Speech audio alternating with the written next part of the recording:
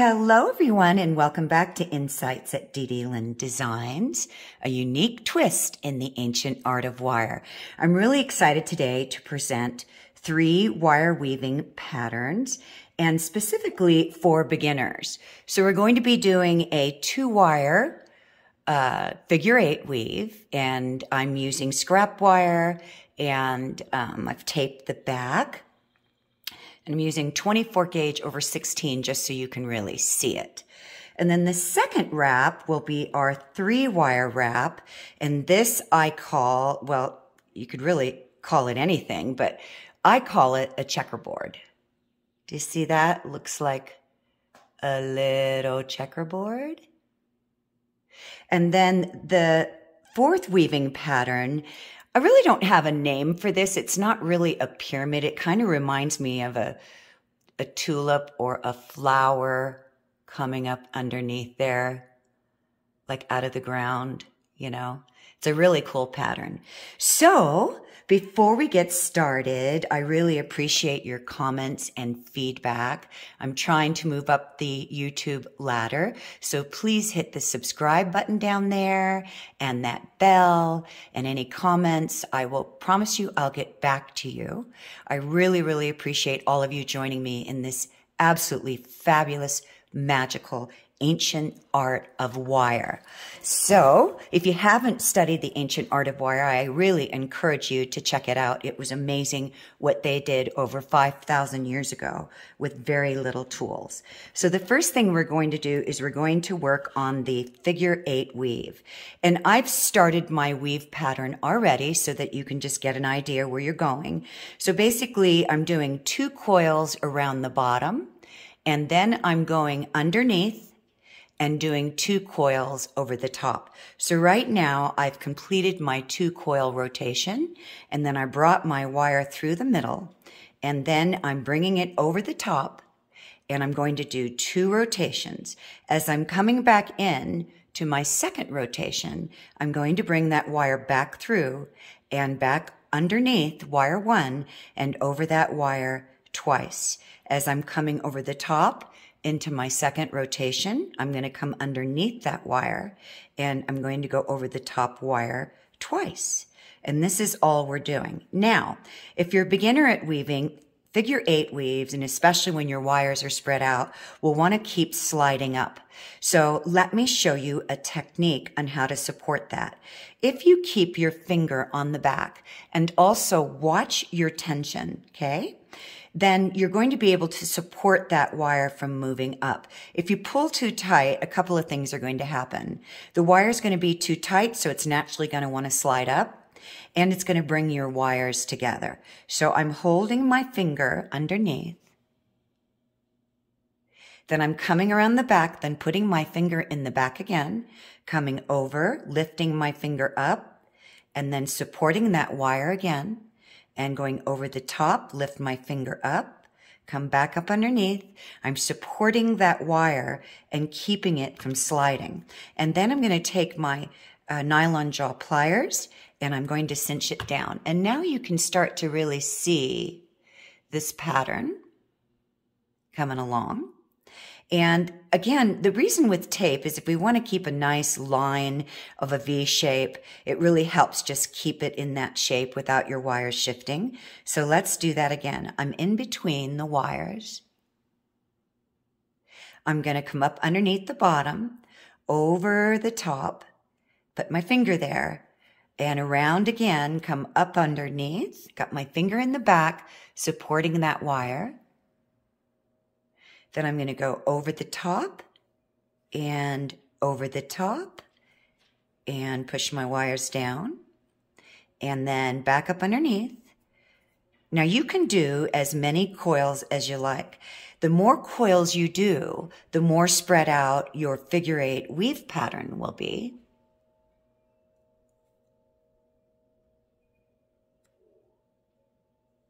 So let's do three. So I'm going to come over the top and I'm going to do one, two, three. I'm going to push that down.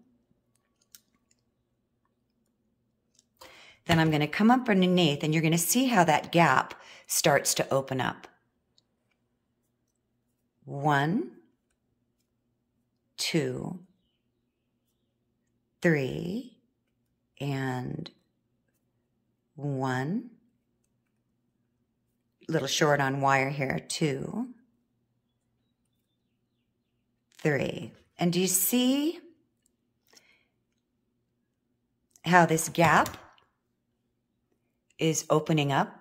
So it's really starting to spread it out. So if you want, these are very tight knit and close together.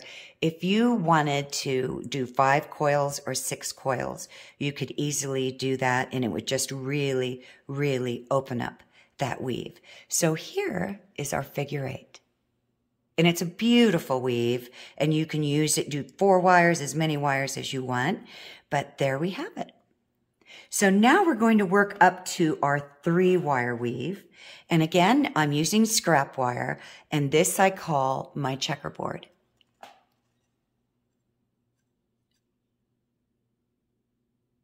So what I've done is I'm starting with my coils on my bottom wire, and we'll call this the number one wire. And so you would do the same thing when you're bringing your wire in. And I've done three coils. So I'm going to go around my base wire, my number one wire. This is two and three. Now my wire is coming out the back. So I'm going to come all the way up to the top and I'm going to wrap around wire number three, the top wire, three times. So that's one, this is two, and this is three. Now my wire is still coming out the back.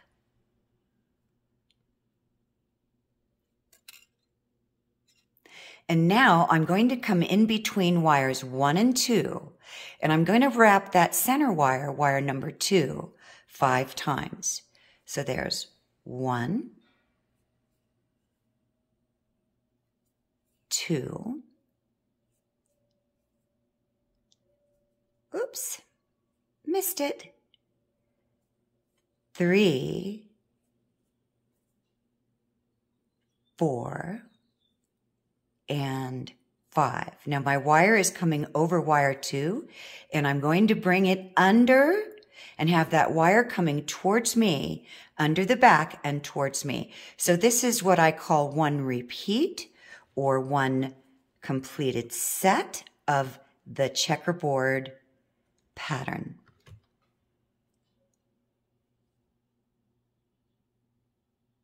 So we're going to do that again. So I'm going to come, I'm coming underneath and I'm going to wrap around my base wire, wire number one, three times.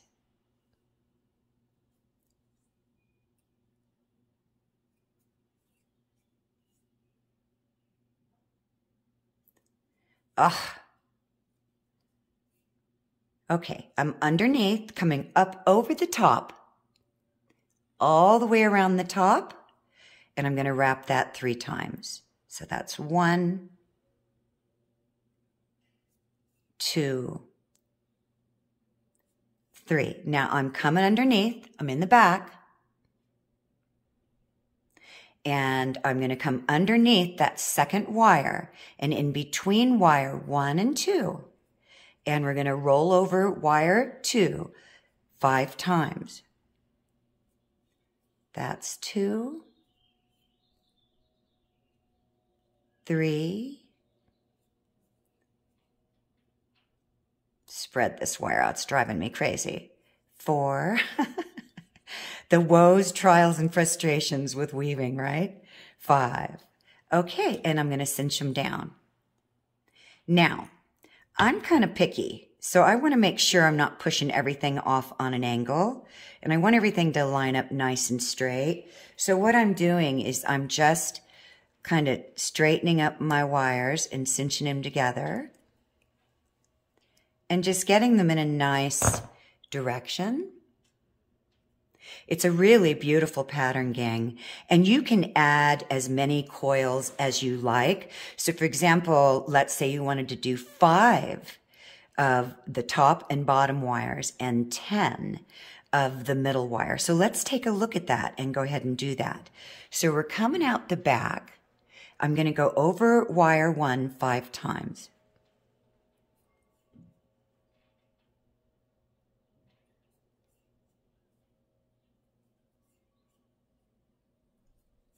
Coming out the back, over the top wire, wire three, five times.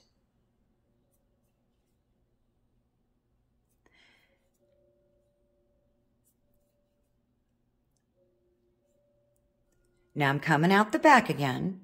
And all we're doing is just changing and spreading out that look.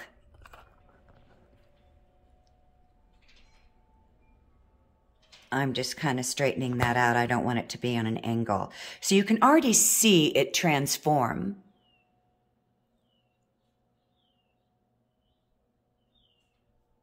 So now I'm coming out the back. I'm going to come in between wires one and two, and I'm going to go over wire two 10 times.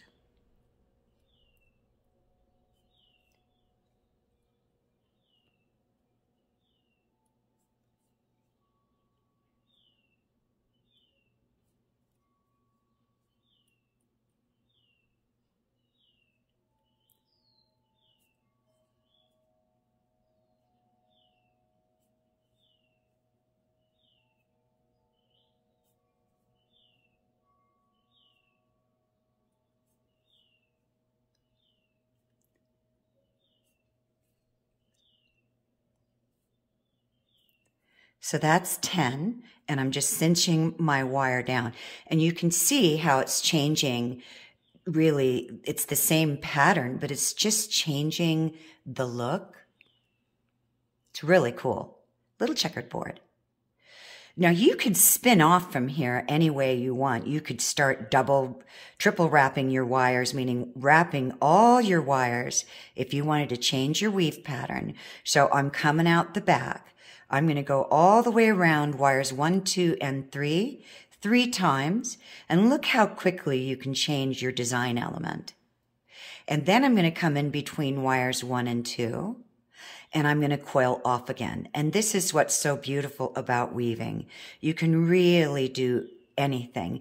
And weaving actually dates back to the word weaving. When the indigenous peoples weaved reeds, they would uh, weave hemp, anything that they could strip and dry and weave. I mean, if you look at ancient Native American basketry and rugs, it's absolutely beautiful. And their, you know, looms that they created to help them when they were doing very large projects. So it's really wire weaving, even though it dates back before the Phoenicians, over 5,000 years ago, uh, comes from the indigenous peoples weaving and creating fabrics and threads and using natural organic resources provided to us from this beautiful planet that we live on gives us so many beautiful gifts every day. All you got to do is just open your eyes and just look at all the beauty around you. So there is the change in the pattern, and that's kind of like a cross weave. So you could use that as a design element on the center of your piece. So here we've done a three wire weave pattern. We've changed it up three times. We started with the checkerboard with three, five, three, five, three, five, three, five. Then we broke down to five, ten, and then we brought in our wires all the way over the top three times and then coiled in the middle again. So, you know, don't be shy. Go for it. Now we're going to do what I kind of want to just name the tulip weave. It's not really a tulip. It just kind of reminds me of a flower. So what you're going to do is you're going to wrap two coils around your base wire. Actually, I did three, guys. Three coils. And um, I'm just using, again, scrap wire here to show you how cool this pattern is. You can do as many coils in between the set the repeat of the flower petals, if that's what you want to call them. And that will open it up. So it spreads it out and makes that design more obvious. You can have it close together or no coils in between. It's really up to you. So we've started with three coils over our base wire. And now I'm going to come over wires one and two. Then I'm going to come in between wires one and two. I'm going to go over wires two and three, in between wires two and three, all the way over wires three and four, and I'm coming all the way around the back. I am not coiling off on the top. And then I'm going to bring that wire all the way back around and I'm going to set my wire up. So I've wrapped it over all four wires. Now I'm going to come back in between wires one and two, over wires one and two, and between wires three and four. I'm coming around the back and I'm going to come up underneath and go over wire one and two.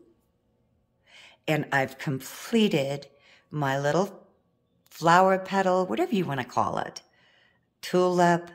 And then I'm going to show you the difference of when we do more coils. So I did three coils here. Okay. So now I'm going to do five. And I just want you to see how beautiful this is when you spread it out. It just brings more attention to the weaving pattern itself. So now I've done five coils. I'm going to push that together and let's do this again. I'm going to go over wires one and two in between wires two and three. Now I'm coming around the back, go over, I'm sorry, in between wire one and two, over wire two and three, in between wire two and three, over wire one, all the way around the back, then back over, I'm sorry, back in between wires one and two, over wires two and three, then all the way around the back, then over wire one and two, and we've completed our set or repeat of one pattern and see the gap space. So it just allows you, if you don't want to see them really close together, just allows you to open up that pattern so that you can see this design better. So let's do that again. I hope I have enough wire left. I'm going to go over wire one five times.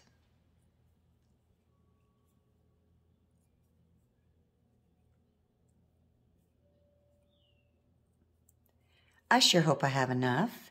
Then I'm going to go over wire one and two, in between wire one and two, over wire two and three, in between wire two and three, all the way over and around and to the back.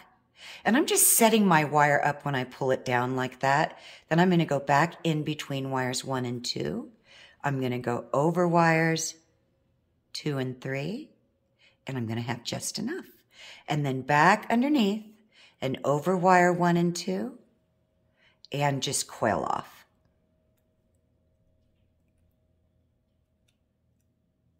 And there we have it. Our beautiful little petal or I don't know what you want to call it. I know I've said that a couple of times now. I just don't know. So it just kind of reminds me of little petals on a flower. But isn't that pretty?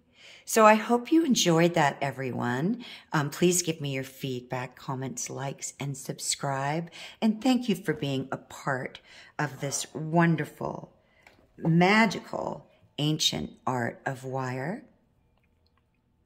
It is just something that I love with all my heart. Oh, I wanted to show you the back of this one. It's a really cool weave. If you wanted to flip this checkerboard weave over, check that out. Isn't that cool? So it really creates a very awesome effect, almost like a little bit of a zigzag.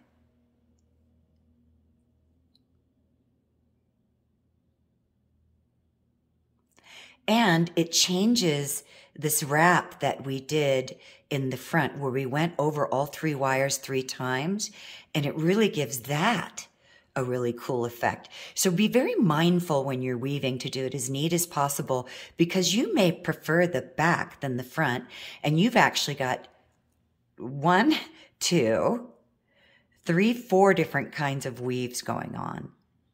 I just think that's really cool. Love the back. So again, thank you so much, you guys. And as Thumper said in Bambi, if you ain't got nothing nice to say, don't say nothing at all. And here's our weaves. Have a wonderful, magical, fabulous day, everyone. I wish for you all that you wish for yourselves. Bye for now.